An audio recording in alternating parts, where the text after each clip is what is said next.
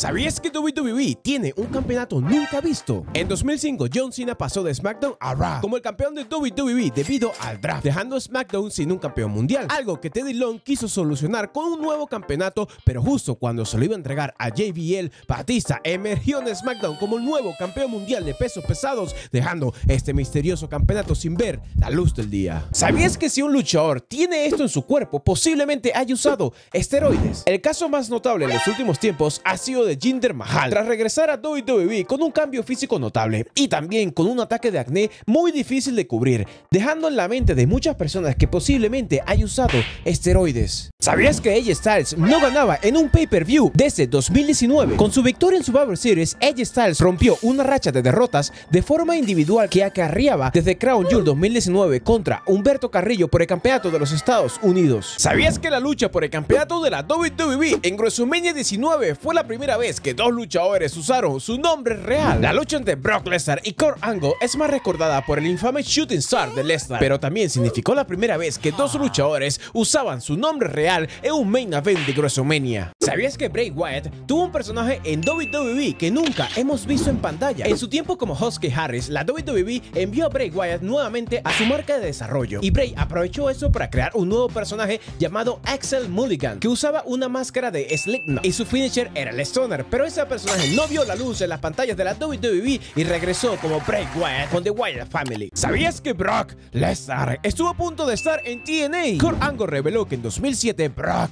Lesnar lo contactó para conocer la posibilidad de llegar a la empresa. Sin embargo, TNA no pudo contratar a la vez encarnada Brock Lesnar por motivos financieros. ¿Sabías que John Cena tiene un movimiento que solo ha usado una vez? Durante su lucha por el campeonato de WWE contra CM Punk en Night of the Champions en 2012, pudimos ver cómo John Cena se llevó al extremo haciendo un salto entre las cuerdas, un movimiento que realizó en esa lucha pero que nunca volvió a realizar. ¿Sabías por qué los luchadores mascan chicle durante sus luchas? Además de ayudarles a producir saliva durante sus luchas, los luchadores tienden a escupir el chicle para vender la idea de haber perdido un diente. ¿Sabías que John Cena se negó a perder su campeonato de WWE? Durante muchos años se ha hablado que John Cena usa su poder en el backstage para no perder sus luchas y en específico ocurrió contra Jack Swagger que confirmó que John Cena se negó a perder su campeonato de WWE y por ello terminó canjeando su maletín contra Chris Jericho. ¿Sabías que John Cena apareció en otra marca de lucha libre siendo el campeón de WWE? Eso ocurrió cuando la empresa Chaotic Wrestling organizó un evento de caridad teniendo a John Cena como referí invitado e incluso haciendo un AA a Vince McMahon que apareció atacando al campeón de la WWE. ¿Sabías que Kevin Owens casi se retira? En su paso por Ring of Honor, el entonces Kevin Steen presenció una lucha de Brian Kendrick que causó tanta impresión en Kevin Owens que pensó en dejar la lucha libre,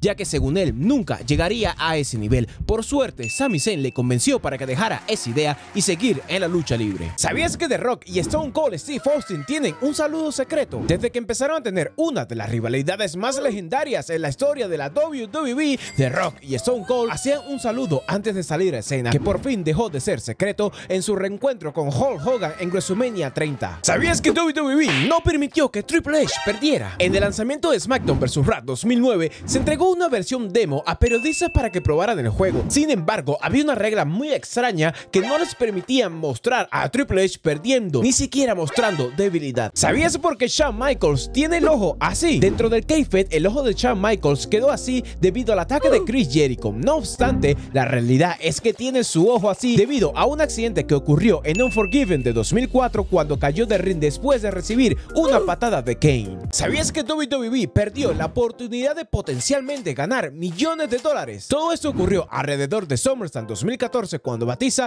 querría regresar a WWE tras el lanzamiento de Guardianes de la Galaxia, pero Triple H y Stephanie McMahon rechazaron esta propuesta respondiendo que ni siquiera sabían si la película iba a ser buena. ¿Sabías que The Undertaker casi abandona WrestleMania por su lucha contra John Cena? The Undertaker ha confirmado que estuvo a punto de abandonar WrestleMania al enterarse de que su lucha contra John Cena sería de solo de 5 minutos, ya que él había estado entrenando para una lucha de 45 minutos. ¿Sabías que Royal Rumble casi no existe? Aunque actualmente es uno de los mejores eventos del año. La idea original de Pat Patterson de una lucha de eliminación no fue bien recibida por Vince McMahon, pero todo cambió cuando la NBC quería lanzar una edición especial de WWE y Vince sugirió sarcásticamente esta idea, que para su sorpresa a la productora le encantó, para que naciera uno de los cuatro grandes pay-per-view de WWE en todo el año.